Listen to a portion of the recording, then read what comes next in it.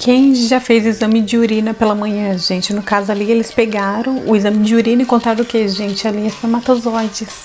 Ou seja, a pessoa que fez o exame ali e viu no microscópio deve ter olhado e falado: Hum, então quer dizer que foram funfou, foram funfar? Hum, então. A menininha ia soprar a velhinha dela ali, mas sempre tem alguma coisinha errada pra acontecer nessas coisas, né? O cabelinho dela pegou fogo, gente, tadinha. Nossa, o aniversário dela se tornou um pesadelo.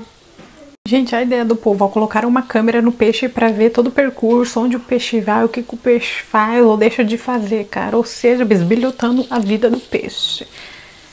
Gente, isso é loucura. E colocaram uma linha ali, né, pro peixe não se perder. No caso, eles não perder a câmerazinha deles, né? Mas o vídeo acabou e não teve história. Ou seja, o que vocês estão vendo nessa imagem, gente, demorou para me raciocinar, cara. Quase que o vídeo acabou e eu não consegui ver. Na verdade, o vídeo acabou e eu não consegui ver, viu? Ali eu tô vendo o pescocinho e o cabelinho, mas é outra coisa. Só eu que já tive hamster e o meu nunca correu na, na rodinha, gente. O meu era preguiçoso, cara, porque eu comprei a rodinha e cadê que ele correu? Não correu bosta nenhuma.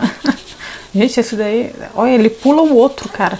Nossa, mano, meu ratinho é muito preguiçoso. Se eu soubesse que tinha de trabalhar, estudar e levantar cedo, meu povo, tinha dado lugar pra outro espermatozoide que eu tô aguentando não. É